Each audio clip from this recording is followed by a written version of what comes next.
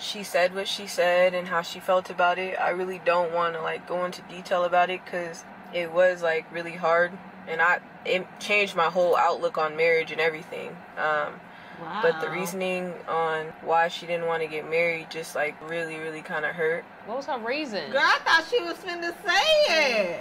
Since then like I felt rejected by her. Yeah, yeah. Like she didn't love me as much and Hey, I can only imagine what that feel like. You done gave five years to give yourself to this girl, and then you propose to her, and she say no. I want to know what the reason is, but I just know I'm just. I guess I'm putting myself in them shoes.